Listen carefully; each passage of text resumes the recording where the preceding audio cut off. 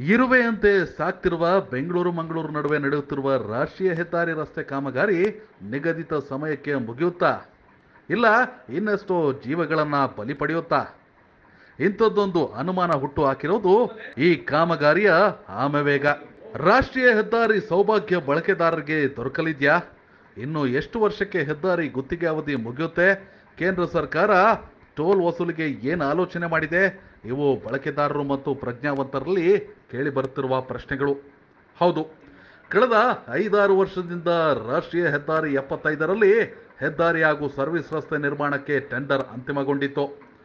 ಮೊದಲ ಹಂತವಾಗಿ ಪಥಗಳ ಹೆದ್ದಾರಿ ಪೂರ್ಣಗೊಳಿಸಲು ನಿರ್ಧರಿಸಿ ಕೆಲಸ ಆರಂಭವಾಗಿತ್ತು. ಈಗಲೂ ಬರದಿಂದ ನಡೆಯುತ್ತಿದೆ. ಕಾಮಗಾರಿ ಪೂರ್ಣಗೊಳ್ಳುವುದಕ್ಕೆ ಅದೆಷ್ಟು ವರ್ಷಗಳ ಗಡುವು ನೀಡಿದೆ? ಆದರೆ ಇನ್ನೂ ಸ್ವಾಧೀನ ಪ್ರಕ್ರಿಯೆ ಅಂತಿಮಗೊಳ್ಳಬೇಕಿದೆ ಎನ್ನುವ ಮಾತುಗಳು ಕೂಡ ಕೇಳಬರ್ತಿವೆ. ಹೀಗಾಗಿ ಗಡುವಿನ ಒಳಗೆ ಹೆದ್ದಾರಿ ಪೂರ್ಣಗೊಳ್ಳುವುದು ಅನುಮಾನ ಎಂಬ ಭಾವನೆ ಮೂಡುವಂತಾಗಿದೆ.